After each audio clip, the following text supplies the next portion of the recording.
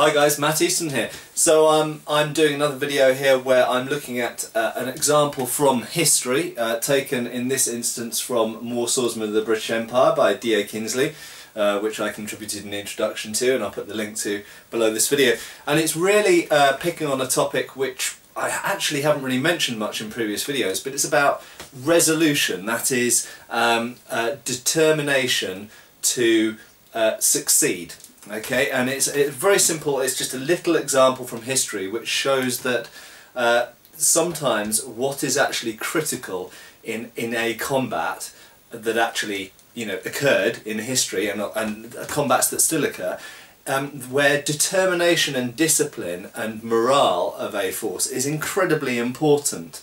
Okay um, and so this is this is an account from 1867, and it involves a British ship that's sailing to um, Hong Kong, and it gets attacked by pirates. Now, most of you will think of pirates as being something that's probably more in the 16th and 17th centuries, uh, perhaps into the 18th centuries as well.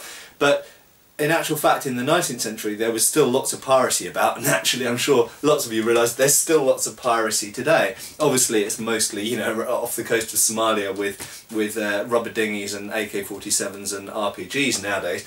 Um, however, in the 19th century, there was actually a lot of piracy still, and it's an interesting, um, relatively understudied subject. Um, that even you know civilian yachts that were sailing in parts of you know the Indian Ocean or, or anywhere around kind of um, various parts of Asia around near near Thailand and uh, off the coast of China anywhere around Japan those kind of areas there were lots and lots of uh, little uh, pirate boats going around looking for, for easy pickings essentially.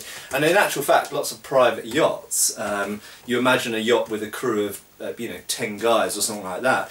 They actually carried uh, guns and cutlasses and boarding pikes in the 19th century because it was a very realistic threat that they might get attacked at some point by by someone. And obviously, it was st still in parts of the you know the Caribbean and off the coast of America. It still happened as well, but it was particularly known to be a risk. It, round round about China and the Far East, you know, um, Thailand and the sort of Java and these sort of areas. Okay, so anyway, this is one such account. Um, and uh, it's taken from Colburn's United Service magazine of uh, July 1867 um, and so it goes on, I won't start at the very beginning because it's quite a long, a long account, but it comes in, scarcely had our brave fellows discharged their firearms and seized their cutlasses then they found themselves face to face with the horde of Tartars. When they say Tartars, they actually mean Chinese, I think, in this instance, um, who had succeeded in escaping the fire of our muskets. They had approached on small boats and they had essentially